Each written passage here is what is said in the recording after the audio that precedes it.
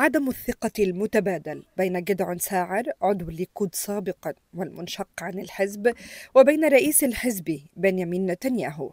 كان سبب عدم توصل المفاوضات الهادفة لضم ساعر للحكومة إلى نتيجة. ساعر لديه طلب واحد وهو وزارة الأمن. ورغم أن نتنياهو يرغب في التخلص من وزير الأمن يؤاف جالان بأي ثمن إلا أنه اختار حتى الآن أن يماطل بالمفاوضات دون أن ينهيها. هناك حديث يدور على أنه فعلا صاعر يتوجه لاستلام منصب وزارة الجيش إلا أن هناك ما زالت أمور غامضة في هذا الشأن بحيث من المقربين من نتنياهو والمستشارين منهم مثلا صار صار نتنياهو بالإضافة إلى المقربين أو بيئة نتنياهو ترفض بأن يكون ساعر بخوفا من عدم الوثوق به. بكل الأحوال هناك حديث يدور على وزارة العدل إلا أن هذا الأمر لا يريد لغاية هذه اللحظة لا يوجد حسم في مثل هذه المسألة. هناك ما بين النفي والتأكيد. ساعر الذي انشق عن جانتس وأيزنكوت أثناء الحرب وذلك بسبب منع جانتس له من أن يأخذ دورا أو مكانا في كابينت الحرب.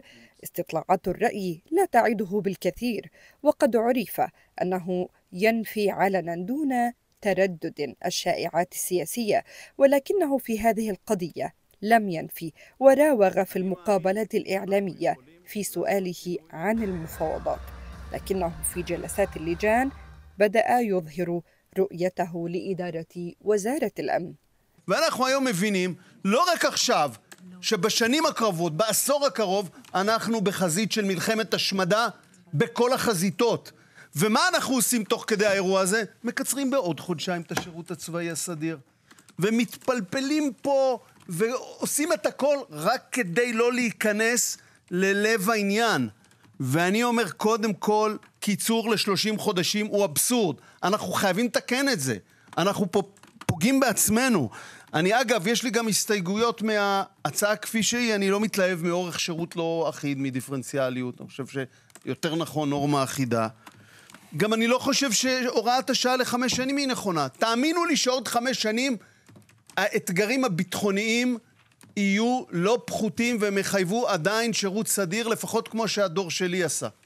ضم ساعر بهدف توسيع الائتلاف قد يساعد نتنياهو في التخلص من جالانت ويقلل حجم تهديدات بن كفير وسموتريتش بفك الحكومة ويقلل من شأن تحكمهما في نتنياهو.